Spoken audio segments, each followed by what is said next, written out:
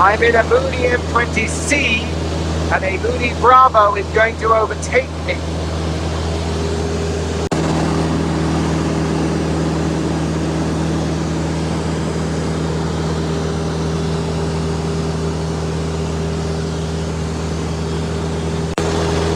That is the difference between a Mooney M20C and a Mooney Bravo.